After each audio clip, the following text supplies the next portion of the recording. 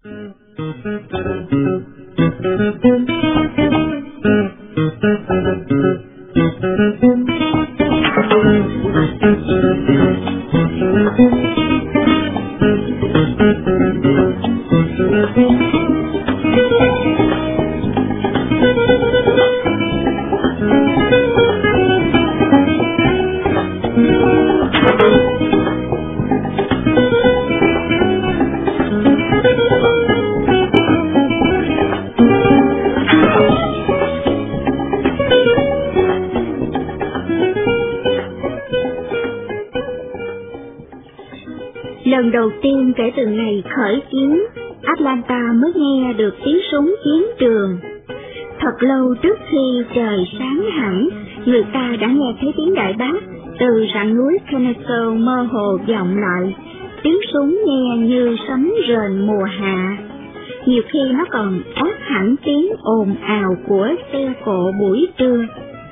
Dân chúng không muốn lắng nghe, họ cố gắng quên đi, cố cười đùa và lo việc hàng ngày. Họ cố quên là bọn dân tri đang có mặt cách hai mươi dặm, nhưng tay họ luôn lùng bùng tiếng súng. Dân chúng lộ vẻ trầm tư, họ không còn thiết làm gì nữa, mọi người đều cố nghe ngóng, tim họ dội lên hàng trăm lần mỗi ngày. Tiếng súng càng ngày càng to hơn, hay là bởi họ nghĩ rằng nó to hơn? Lần này, tướng Johnston có giữ vững nổi vị trí không? thank you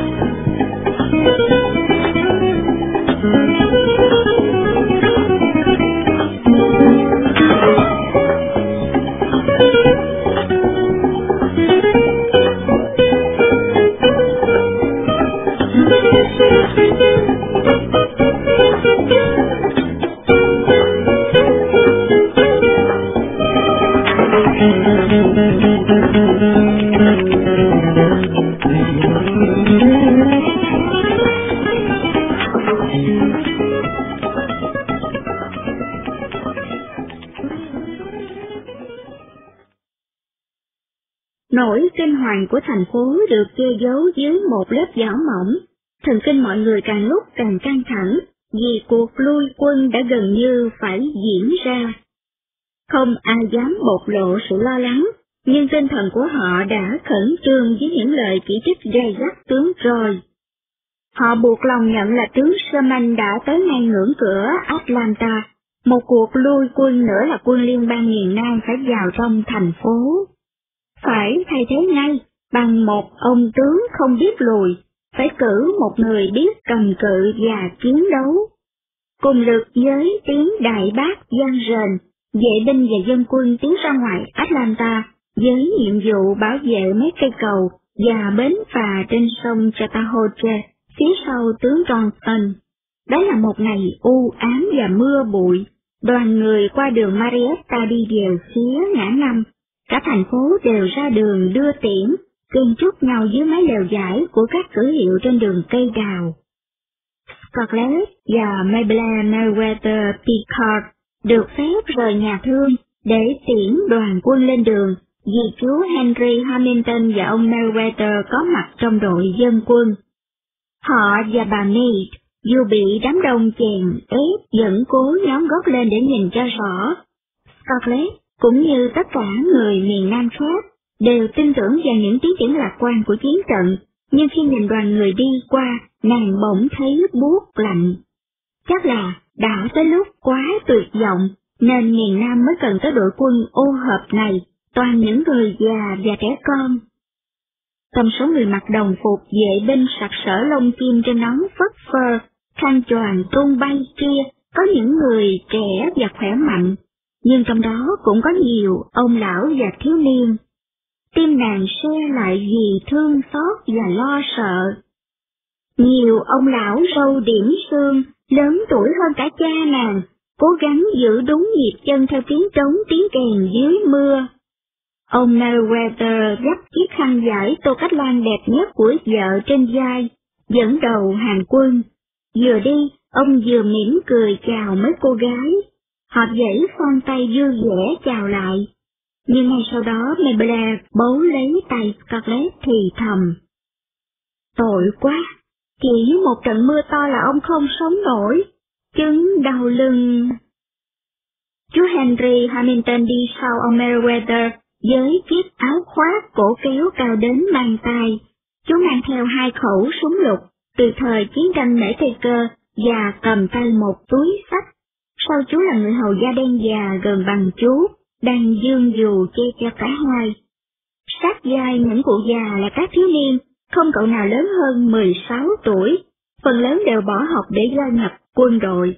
Lát đác trong đoàn người có vài nhóm mặc đồng phục của các trường giáo bị, lông gà đen gắn trên dành nón ướt đẫm nước mưa.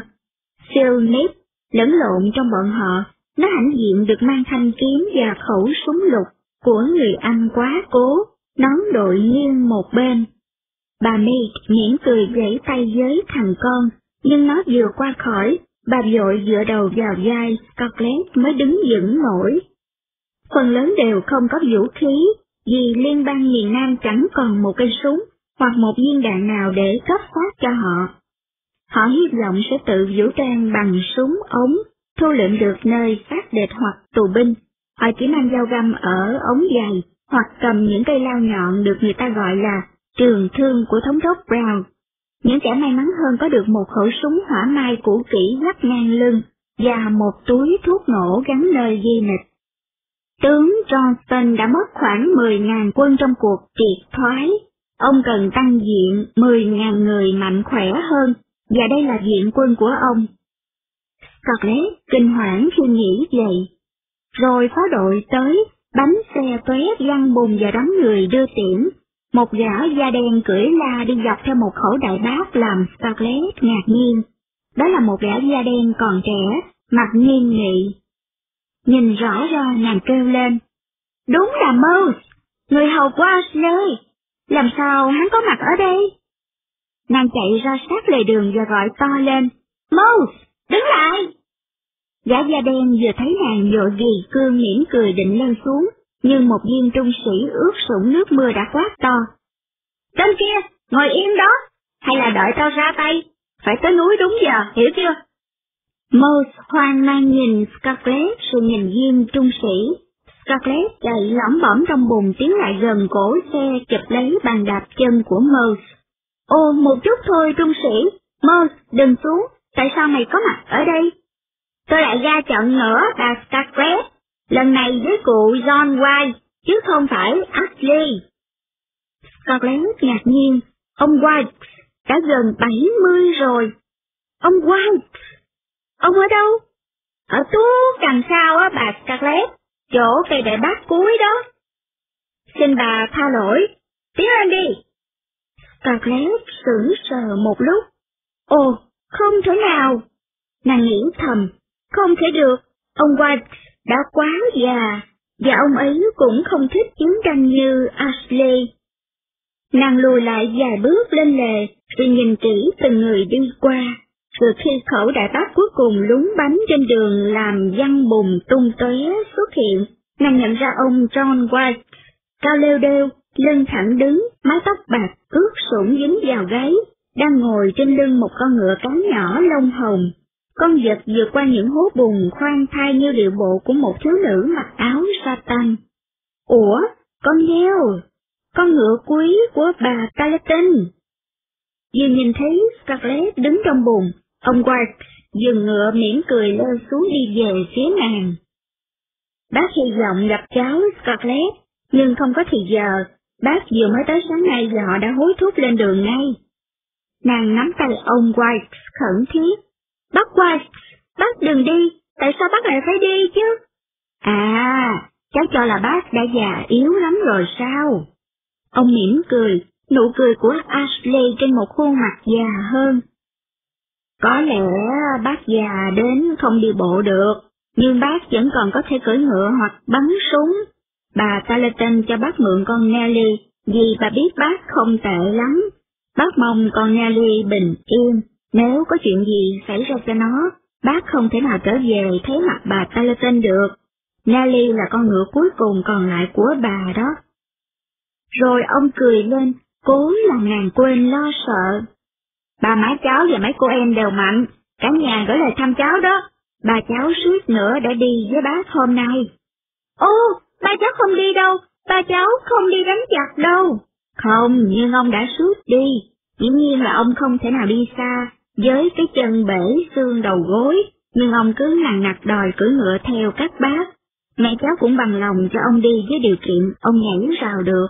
Theo bà thì địa thế chiến trường rất xấu, bà cháu nói là chuyện ấy quá dễ, nhưng cháu có tin không, khi con ngựa đến gần rào, nó đứng sững lại làm ba cháu bị hất bay qua đầu nó, may mắn là không bị gãy cổ.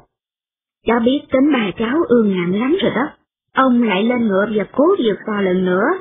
Scarlett, bà cháu đã cố thử luôn ba lần, trước khi má cháu và cô khuyên ông vào giường. Ông giận dữ cả quyết rằng mẹ cháu đã nói nhỏ với con vật để giữ ông ở nhà. Vậy là không còn đủ sức để đi đánh nhau nữa đâu. Scarlett, cháu đừng xấu hổ gì cả. Dù sao cũng phải có ai ở lại để lo trồng trọt giúp quân đội chứ. Scarlett không xấu hổ chút nào, nàng còn thấy nhẹ nhõm là khác. Bác đã gửi India và Honey đến Macon ở với họ Burn, và ông O'Hara lãnh phần chăm sóc Cloud Ox luôn giùm bác. Bác phải đi đây, cho bác hôn từ biệt nha. Scarlett nghẹn ngào, nàng rất quý mến ông White, đã có lần nàng hy vọng được làm con dâu ông. Hôn xong, ông lại hôn thêm hai lần nữa. Cho bác gửi hai cái hôn này tới cô Kitty và Melanie. Melanie lúc này ra sao? Chị ấy vẫn mạnh khỏe. À, ông nhìn nàng nhưng hình như chẳng thấy, cũng như cái nhìn của Ashley luôn luôn hướng vào một cõi vô hình nào đó. Bác rất mong được thấy đứa cháu nội đầu tiên. Thôi, bác đi đây. Ông nhảy lên lưng ngựa, thúc nó chạy nhanh, nón vẫn cầm tay, mái tóc bạc trắng phơi mưa. Scarlett trở lại với Melanie và bà Mead trước khi hiểu rõ lời cuối của ông White. Chợt biến sắc khi hiểu ra ý nghĩa, nàng vội vàng làm dấu thánh giá và đọc kinh cầu nguyện. Cũng như Ashley, ông đã nhắc tới cái chết, và Ashley bây giờ không nên nhắc tới sự chết chóc, làm như thế là xúi dục thiên mạng nhớ tới mình. Lúc ba người đàn bà cùng im lặng dầm mưa trở về bệnh viện, Scarlett thì thầm cầu nguyện. Lạy Chúa, xin che chở cho ông, cho ông và cho cả Ashley.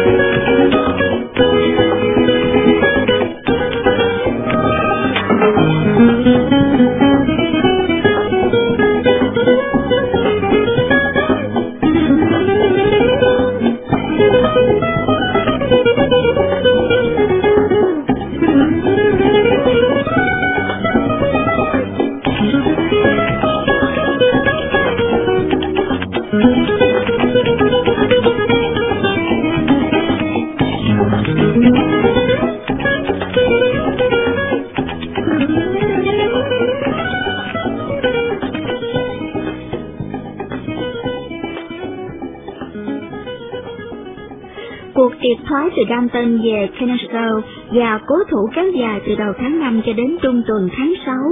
Rồi những ngày mưa tháng 6 trôi qua mà Sherman vẫn không thể đánh bật nổi quân liên bang ra khỏi những triền núi thẳng đứng và trơn trượt kia. Thế là hy vọng lại dương lên, ai cũng sung sướng và biểu lộ thiện cảm với tướng Johnston trở lại. Tháng 6 ẩm ướt qua đi, nhường chỗ cho tháng 7 mưa dầm tận lực chiến đấu trong những pháo lũy trên cao, quân liên bang miền Nam vẫn còn cầm chân Sherman, khiến dân Atlanta vui mừng tột độ, hy vọng làm họ trốn dáng như men champagne. Hoan hô, hoan hô, chúng ta đã chặn đứng kẻ địch, một làn sóng dạ hội và khiêu vũ tràn lan khắp nơi.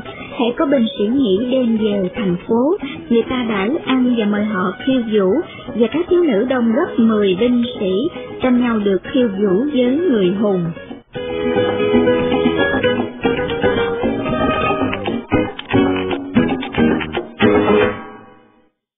Atlanta đông nghẹt khách, dân chiến nạn về gia đình thương binh, vợ con cha mẹ của những chiến sĩ đang tử thủ trên núi cũng kéo tới với ước ao được ở gần người thân hoặc kịp thời lo lắng khi họ bị thương.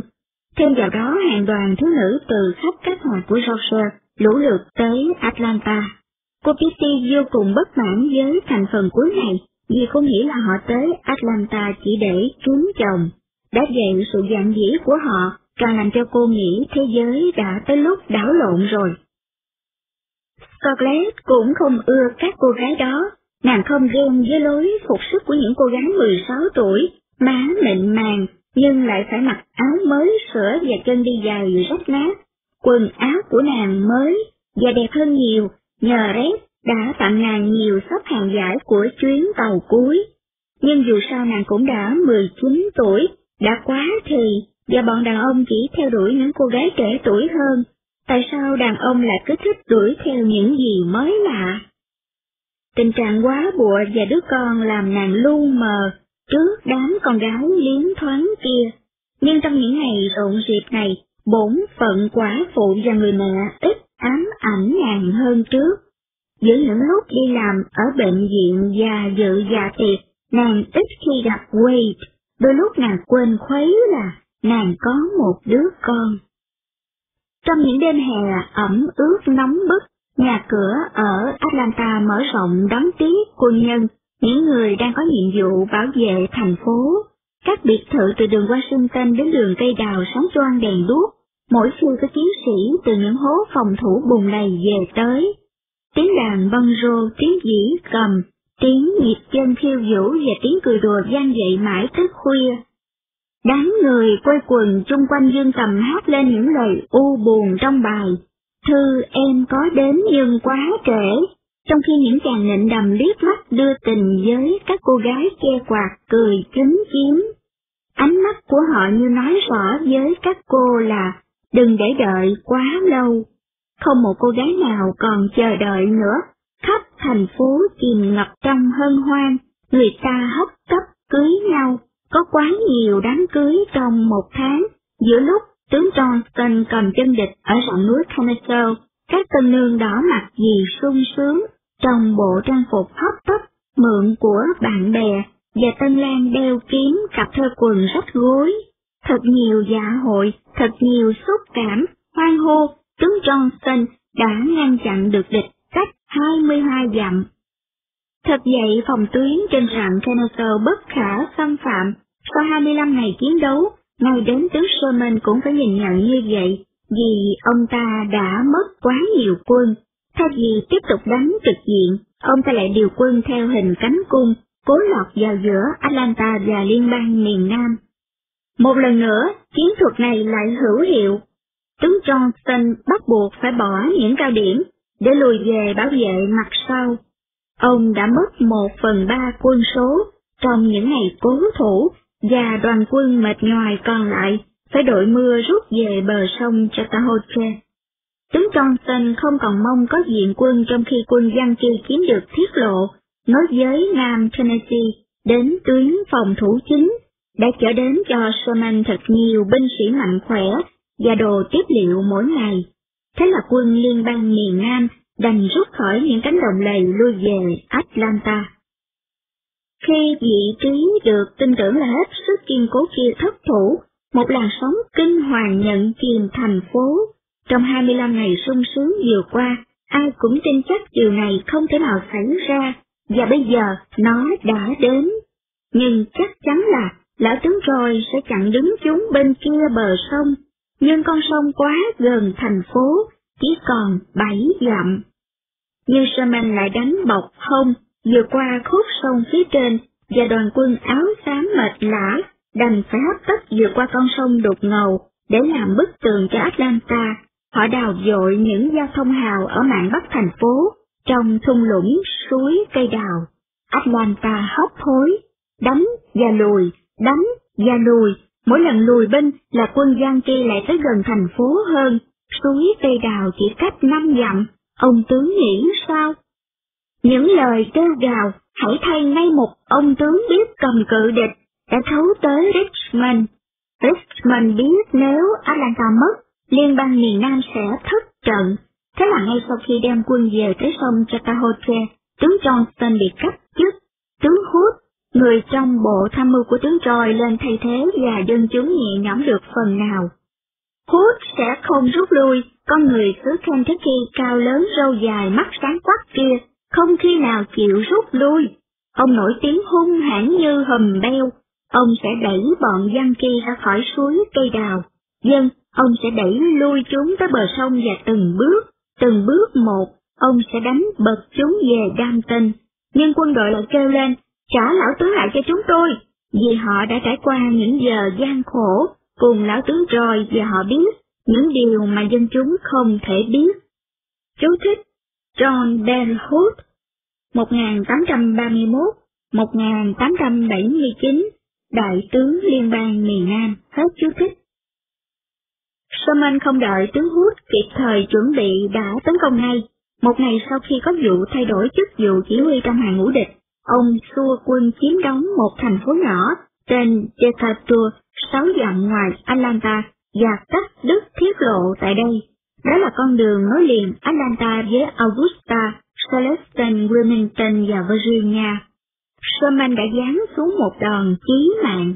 Đã tới giờ hành động, Atlanta kêu gào hành động. Rồi một chiều tháng 7 ơi ả, Atlanta đạt được mong ước. Đại tướng Hood còn đi xa hơn trong việc chiến đấu và kháng cự. Ông hung hãn phản kích quân Giang Tri ở suối cây đào. Quân sĩ ông từ các hầm hố tràn ra, lao mình vào quân địch đông gấp hai lần. Người ta bồn chồn cầu nguyện cho cuộc tấn công đó sẽ đẩy lui được quân Giang Tri. Tiếng ầm ì của đại bác và tiếng nổ của hàng ngàn khẩu súng trường đang cách thành phố năm dặm to như chỉ cách họ một dãy nhà. Dân thành phố nghe rõ tiếng đại bác, nhìn khói súng cuộn lên như những đám mây thấp lơ lửng ở ngọn cây. Nhưng hàng giờ nghẹt thở tôi qua mà không một ai biết chiến cuộc đã diễn tiến ra sao. Xế chiều, những tin tức đầu tiên được mang về, nhưng tất cả đều mơ hồ và mâu thuẫn, càng làm cho người ta thêm lo sợ, vì đó là tin tức của thương binh, những người chỉ dự phần đầu trận đánh. Số thương binh đó đi lẻ tẻ từng nhóm, người bị thương nhẹ đỡ người bị nặng hơn. Chẳng bao lâu, họ lũ lượt kéo về như thác đổ, thất thể tìm đường tới bệnh viện, mặt đen như hắc nô vì thuốc súng, thân thể dơ bẩn và sũng mồ hôi. Những vết thương không được băng bó, máu tiếp tục rỉ ra, làm ruồi nhặn đánh vòng chung quanh họ. Nhà cô Piti là nơi họ tới trước nhất vì họ đã rút đi từ hướng bắc thành phố. Người này sau người kia họ lay cánh cửa, tiến vào sân cỏ vào to hay rên rỉ. Nước! Nước! Suốt buổi trưa oi nồng đó, cô Kitty và gia đình kể cả trắng lẫn đen đều đứng dưới nắng để múc nước và băng bó các vết thương cho binh sĩ, cho đến khi băng cứu thương trong nhà đã hết sạch. Ngay cả giải cải giường và khăn lau cũng không còn, hoàn toàn quên mất là cảnh máu me thường làm cho mình ngất xỉu. Cô Kitty làm việc cho đến khi hai bàn chân nhỏ xíu của cô trong đôi giày quá chật, xuân phồng lên và mỏi rụt ra. Ngày đến Melanie bụng đã to cũng sốt sáng làm việc bên cạnh Prissy, Cookie và Scarlett. Cuối cùng Melanie ngất đi và người nhà phải đặt nàng nằm trên một chiếc bàn trong bếp, vì giường ghế dựa trường kỹ trong nhà đều đầy nghẹt những người bị thương. Bị bỏ quên trong cảnh hỗn loạn đó, thằng Wade nép mình đằng sau thềm nhà nhìn ra sân cỏ, trong dáng điệu của một con thỏ bị đuổi bắt, mắt trợn trừng vì kinh sợ, vừa ngậm ngón tay vừa khóc thút thích. Có lúc Scarlett thấy nó và hét lên, Wait, Hampton, ra nhà sau chơi đi! Nhưng quá sợ hãi trước cảnh tượng ghê gớm đó nó không dám đi đâu cả. Sơn cỏ đang ngổn ngang binh sĩ kiệt sức quá mệt, nên không thể đi xa hơn, quá yếu vì thương tích nên không còn cử động. Bác Peter mang những người đó lên xe chở tới nhà thương, chuyến này sang chuyến khác, cho tới lúc con ngựa già cũng kiệt sức luôn. Bà Mead và bà Meriwether cũng đưa xe đến chở họ đi. Tới chiều xe cứu thương ầm ỉ từ mặt trận kéo về, đó là các xe bò chở đồ tiếp liệu, rồi tới lượt xe tư nhân chạy ngang nhà cô Kitty với đầy nghẹt thương binh hoặc những người hấp hối, máu nhỏ dài theo con đường bụi đỏ. Mỗi lần đưa nước vào thương binh Scarlett lại hỏi người đánh xe, tìm thắt lại. Có tin gì chưa? Có tin gì chưa? Lần nào nàng cũng nhận một câu trả lời tương tự. Chưa có gì đích xác thưa bà, hãy còn quá sớm để nhận định tình hình. Đêm xuống nóng bức đến gần như nghẹt thở, không một chút gió và những bó đuốc thông lập lòe của đám da đen soi đường, càng làm cho không khí thêm oi ả hơn. Bụi đã đóng khô trong mũi và trên môi Scarlett. Chiếc áo vải vừa giặt sạch lúc sáng đã bê bết máu và ướt đẫm mồ hôi. Ashley đã có lý khi bảo rằng cuộc chiến này chẳng có gì vinh quang, chỉ là bẩn thỉu và thống khổ. Sự mệt mỏi đã phết thêm một nét mơ hồ vào khung trời thành phố. Những việc đang xảy qua kia chỉ là một cơn mộng dữ, hoặc nếu đó là sự thật, thì chắc thế giới đã điên loạn cả rồi. Nếu không tại sao nàng lại đứng đây, trong phẩm sân yên lành của nhà cô Titi, giữa những ánh đuốc chập chờn, mút nước cho những người đang hấp hối, những kẻ trước đây đã từng si mê nàng. Trong đám thương binh này có nhiều người đang đeo đuổi nàng, và họ còn cố gắng mỉm cười khi nhận ra nàng.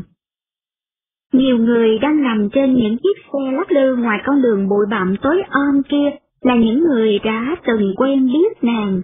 Một số đang hấp hối trước mặt nàng với những bầy mũi ruồi nhặn bám đầy trên khuôn mặt đẫm máu, là những người đã từng khiêu vũ, cười đùa và đã từng được nàng đàn hát cho nghe, đã từng được nàng đùa cợt hoặc khuyến khích và đã được nàng thương yêu đôi chút. Nàng nhận ra Carey Osborne nằm dưới một đám thương binh trên một cổ xe kéo, còn thoi thóp thở với một viên đạn trong đầu. Nhưng nàng không thể kéo y ra vì sợ làm đau đớn sáu thương binh khác, nên đành để y tới y viện.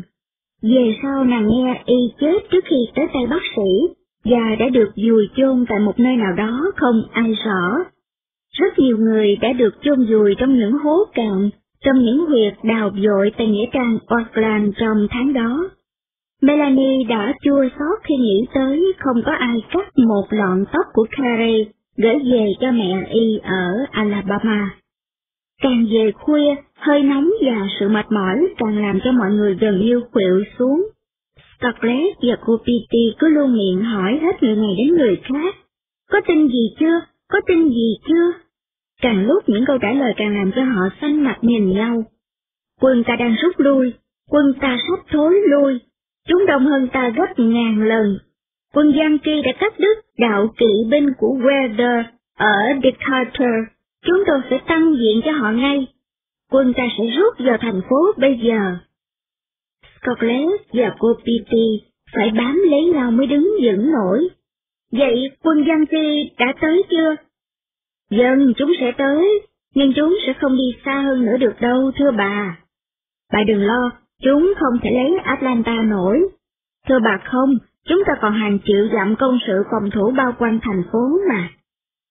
Chính tôi đã nghe lão tướng Roy nói, ta có thể giữ vững Atlanta mãi mãi, nhưng chúng tôi không còn tướng Roy, quân ta sót. Cấm đi đồ ngu, bộ muốn làm các bà khiếp sợ sao? Bọn Yankee không thể nào chiếm được Atlanta đâu, thưa bà. Tại sao các bà không đi Macon hoặc một nơi nào khác an toàn hơn? Chắc quý bà không có bà con ở đó. Quân Yankee sẽ không lấy được Atlanta, nhưng trong lúc này, phụ nữ không nên nán lại đây, sẽ có những vụ pháo kích ác liệt đó. Giữa cơn mưa phùn nóng bức hôm sau, đạo quân bại trận rút vào Atlanta, kiệt sức gì đói lã và mệt nhoài, sau 76 ngày chiến đấu và rút lui, ngựa của họ gầy trơ xương, đại bác và thùng đạn cột lại với nhau bằng những đoạn dây thần roi ngựa, nhưng họ không rút lui như một đám tán loạn vô kỷ luật, họ đã được lão tướng roi dạy cho cách triệt thoái. Ông đã dạy họ cách lui quân trật tự, cũng như một cuộc tiến quân. Quân sĩ râu ria xòm xoàm, quần áo rách nát đi theo đội hình tiến vào đường cây đào, theo điệu nhạc Maryland Maryland thân yêu, cả thành phố ùa ra ngoài cổ võ họ, thắng hay bại, đám binh sĩ kia vẫn là người của họ. Lực lượng phòng vệ tiểu bang lúc trước xuất quân với những bộ đồng phục rực rỡ, nay đã khó nhận ra giữa đám quân thiện chiến. họ cũng dơ bẩn và bù xù như quân chính quy, ánh mắt họ đã khác lạ hơn. Ba năm thối thác điện giải để khỏi ra mặt trận đã được bù đắp lại, họ đã đổi những ngày êm ấm ở hậu phương, lấy những gian khổ ở chiến trường. Phần lớn trong họ đã đổi những giây phút an nhàn bằng cái chết của mình. Bây giờ, họ đã thành những binh sĩ lão làng, dù chỉ mới phục vụ dưới cờ chẳng bao lâu. Họ đã trang trải hoàn toàn món nợ ngày xưa. Họ đã tìm nhau và tìm mặt những người trong đám đông với cái nhìn kiêu hãnh. Bây giờ, họ đã có thể ngẩng đầu lên. Các cụ già và thiếu niên trong hàng ngũ dự binh đi qua, những ông già gần như chân ngất không nổi, những cậu thiếu niên vẻ mặt lộ rõ nét mệt nhọc của những đứa bé phải đánh giá quá sớm chuyện người lớn. Scarlett nhìn thấy Phil Mead, khó mà nhìn ra nó, vì mặt nó đã nám đen vì thuốc súng sừng bùng và căng thẳng vì mệt mỏi. Chú Henry lê bước bên cạnh nó, nón không còn, đầu nhô ra khỏi lớp giải dầu che mưa nắng. Ông Meriwether ngồi trên một cổ xe kéo đại bác, chân quấn mền rách. Nhưng dù cố sức tìm kiếm, Scarlett cũng không thấy ông John White đâu cả. Dù đã mệt nhoài, bước chân không còn vững sau ba năm chiến đấu, nét cương quyết vẫn còn hiện trên nụ cười những binh sĩ của tướng Johnston. Họ dễ tay chào các cô gái và la lối miệt thị những người không ra trận. Họ đang trên đường ra những chiến hào bao quanh thành phố. Dù đào sơ sài hấp tấp, những công sự này cũng khá chắc chắn nhờ tăng cường thêm bao cát và những hàng rào chống xung phong bằng cây nhọn. Chiến lũy làm thành một vòng tròn bao quanh thành phố, hàng dặm dài nối tiếp nhau, tất cả đang chờ đợi họ. Dân chúng hoan hô binh sĩ như khi họ chiến thắng trở về.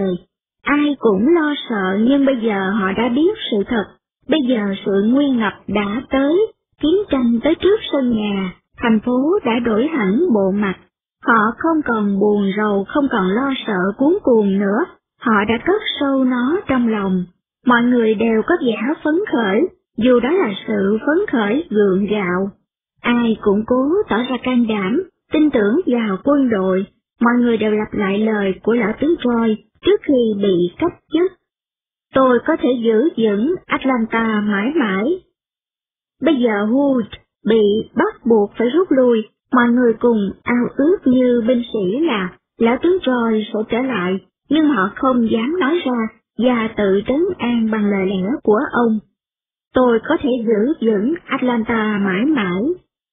Tướng Hood không sử dụng lối đánh thận trọng như tướng Troy, ông hết tấn công quân Yankee ở phía đông, lại lăn xả vào chúng ở phía tây. Sherman cứ quay vòng thành phố như một tay đô vật, đang lừa đối thủ để chợp bắt. Nhưng Hood không bao giờ nằm dưới hố chờ địch tấn công, ông liều lĩnh xuất quân sớm vào quân Yankee. Các trận đánh ác liệt ở Atlanta và Ezra Church làm cho mặt trận suối cây đào bị kể như là một cuộc chạm trán sơ sài. Nhưng quân Yankee không để bị đẩy lùi, bị tổn thất nặng nề nhưng họ vẫn còn đủ sức chịu đựng. Pháo binh của họ không ngớt ngã đạn vào Atlanta. Người chết, mái nhà sụp đổ, hang hố đầy đường, dân thành phố chạy nấp ở bất cứ nơi nào có thể che chở họ được, trong hầm rượu, hố đất, trong những đường hầm đào dọc theo đường xe lửa. Atlanta bị bao vây, sau 11 ngày chỉ huy, tướng Hood đã thiệt hại nhiều quân bằng lão tướng Roy đã thiệt hại trong 74 ngày vừa đánh vừa lùi, và Atlanta đã bị bao vây ba mặt. Tiết lộ Atlanta, Tennessee hoàn toàn nằm trong tay Sherman. Quân của ông ta đã kiểm soát hoàn toàn con đường sắt đi miền Đông và cắt đứt đường sắt chạy xuống miền Tây Nam đến Alabama. Chỉ còn một đoạn tiết lộ xuống miền Nam dẫn tới Macon về Savannah là còn trong tay liên bang miền Nam. Thành phố đông nghẹt thương binh, dân chiến nạn, nhưng con đường sắt còn lại này không đủ sức chuyên chở nhu yếu phẩm cho Atlanta. Tuy vậy khi nào còn tiết lộ, Atlanta vẫn còn đứng vững. Scarlett lo sợ khi nhận thức tầm quan trọng của con lộ này. Nàng biết rõ tại sao Sherman hung hăng muốn chiếm nó, tại sao Hood đã giữ dằn bảo vệ nó, vì đó là con đường xuyên qua hạt, Qua Jonesboro và Tara, đối với Scarlett là một nơi ẩn náu thiên đường nếu so với địa ngục kinh hoàng Atlanta và Tara chỉ cách Jonesboro năm dặm. Khi trận Atlanta khởi diễn, Scarlett và các bà khác ngồi trên nóc nhà, dùng dù che nắng theo dõi chiến cuộc. Nhưng khi đạn đại bác bắt đầu nã vào thành phố, họ vội vàng chui xuống hầm rượu. Đêm đến đàn bà trẻ con người già bắt đầu tản cư. Mục tiêu của họ là Macon, phần đông dân tản cư là những người đã theo tướng Johnston đánh nạn từ Danton tới, và đã là lần tị nạn thứ năm hoặc thứ sáu rồi. Đồ mang theo của họ đã nhẹ hơn nhiều so với lúc mới tới Atlanta. Phần nhiều họ chỉ mang theo sách tay với một gói thực phẩm, bọc trong khăn giải. Đây đó bọn gia nhân hốt hoảng, mang theo mấy món đồ bằng bạc và một vài bức chân dung của gia đình mà họ gỡ vội từ lần binh biến đầu tiên. Bà Meriwether và bà Elsin không chịu tản cư, bệnh viện cần đến hai bà. Họ kiêu hãnh tuyên bố không hề sợ sệt và không một tên dân khi nào có thể đuổi họ ra khỏi nhà được. Nhưng Mabella với đứa con của cô ta cùng Fanny đã đi Macon. Lần đầu tiên từ khi lấy bác sĩ, bà Mill đã không tuân lệnh theo chồng, buộc bà phải đáp xe lửa đi lánh nạn. Bà bảo ông còn cần tới bà. Hơn nữa, Phil đang ở trong một chiến hào nào đó, bà muốn có mặt gần nó trong trường hợp. Nhưng bà Whiting đã ra đi cùng với các bà khác có chân trong hội với Scarlett. Cô Kitty người đầu tiên sĩ giả tướng roi, khi ông rút lui cũng là người đầu tiên lo thu xếp hành lý. Cô nói thần kinh cô rất căng thẳng, nên không thể nào chịu được tiếng động. Cô ngại sẽ bị xỉu khi nghe tiếng nổ mà không kịp chui vào hầm rượu. Không, cô Kitty không sợ, cô muốn liếm môi tỏ vẻ can đảm, nhưng miệng cô vẫn méo sệt. Cô phải đi Nathan ở với người chị họ, bà Burr, và hai cháu cũng phải theo bà luôn. Scarlett không muốn đi Macon, dù sợ đạn trái khóa, nàng vẫn thích ở lại Atlanta hơn là đi Macon, vì nàng ghét cay ghét đắng bà Burr. Cách đây nhiều năm bà ta đã mắng nàng, đồ lẳng lơ, khi bắt gặp nàng hôn William, con trai bà trong một dạ hội tại nhà ông White. Nàng nói với cô Kitty. Không, tôi có thể trở về Tara và Melly sẽ đi với cô. Vừa nghe Melanie hoảng sợ khóc òa lên, và trong khi cô Kitty chạy đi tìm bác sĩ Nì, Melanie nắm lấy tay nàng gian xin. Đừng bỏ chị vừa Tara mà, chị sẽ hoàn toàn cô đơn nếu không có em. Scarlett, chị sẽ chết nếu không có em bên cạnh chị lúc sinh nở. Dân, dân chỉ biết là còn có cô Petey, nhưng cô ấy lúc nào cũng như đứa trẻ. Có nhiều khi cô làm cho chị tức muốn khóc luôn á. Đừng bỏ chị một mình em, chị coi em như em ruột và còn hơn thế nữa. Melanie mỉm cười, một nụ cười xanh xao. Hơn nữa, em đã hứa với Ashley là trông nom cho chị. Trước lúc đi, ảnh có nói là sẽ nhờ em mà. Scarlett ngạc nhiên nhìn người chị chồng. Nàng ghét Melanie nhiều đến nỗi, không ngờ Melanie lại có thể thương nàng đến thế. Tại sao Melanie ngu ngốc đến không đoán được, nàng âm thầm yêu Ashley. Nàng đã thả hồn ra hàng trăm dặm để theo dõi tìm kiếm Ashley. Nhưng Melanie chẳng thấy gì cả, Melanie chỉ thấy điều thiện nơi những người mình thương yêu. Phải, nàng đã hứa với Ashley là sẽ trông nom Melanie dùm chàng. Ôi, Ashley, các anh đã chết rồi, chết mấy tháng rồi, bây giờ em vẫn còn bị ràng buộc bởi lời hứa với anh. Nàng cọc lốc nói, Được, tôi đã hứa với anh ấy và tôi sẽ giữ lời, nhưng tôi không thể đi Macon ở với con mụ Bird đó. Gặp mặt bà ta là tôi xé khác ngay. Tôi sẽ về Tara và chị có thể theo tôi. Má tôi rất thương chị đó. Ồ, thích quá! Nhưng em biết cô Pitty sẽ buồn rầu nếu không được ở bên chị khi chị sinh nở. Cô không chịu đi Tara đâu. Ở đó cũng gần mặt trận, cô chỉ muốn ở chỗ nào thật an toàn thôi. Bác sĩ Nate hớt hải bước vào, tưởng sẽ thấy Melanie sinh thiếu tháng, vì cô Pitty đã cuốn quýt báo động, và khi biết được sự thật, ông giải quyết câu chuyện bằng một lý luận không ai cãi được. Melia, à, việc đi Macon của cháu không thành vấn đề, bác sẽ không chịu trách nhiệm nếu cháu đi. Xe lửa thì lúc nào cũng nghẹt người, và không biết lúc nào hành khách sẽ bị đẩy xuống rừng. Nếu quân đội cần tới xe để chở quân sĩ hoặc di tản thương binh hoặc tải đồ tiếp tế, và cái bụng của cháu thì... Nhưng cháu sẽ về Tara với Scarlett. Bác nói là không được đi đâu hết. Chuyến xe đi Tara cũng là chuyến đi Macon, và tình trạng cũng y như vậy. Hơn nữa không ai biết rõ quân Giang Phi đang ở đâu, hình như chỗ nào cũng có chúng cả. Chuyến xe các cháu còn đi năm dặm nữa mới tới Tara, con đường đó rất xấu, đó không phải là lối đi của một người mang bầu, hơn nữa trong hạt chẳng còn một y sử nào từ lúc ông Foplin đầu quân. Nhưng ở đó còn nhiều cô đỡ. Bác nói là một y sĩ, nghe rõ không? Ông gằn giọng tiếp, mắt nhìn thân thể nhỏ bé của Melanie. Bác không cho cháu đi đâu cả. Nguy hiểm lắm. Cháu muốn đẻ rớt trên xe lửa, hoặc xe ngựa hả? Câu nói thẳng thừng, có tính cách chuyên môn của ông làm hai cô gái thẹn đỏ mặt, không nói được lời nào. Cháu phải ở lại đây, để bác săn sóc, và cháu phải nằm một chỗ, không leo lên leo xuống hầm rượu. Dù cho đạn trái phá rơi ngoài cửa sổ cũng vậy. Dù sao ở đây vẫn ít nguy hiểm hơn. Không bao lâu nữa chúng ta sẽ đẩy lui được chúng. Nè cô Titi, cô đi Macon một mình thôi nha.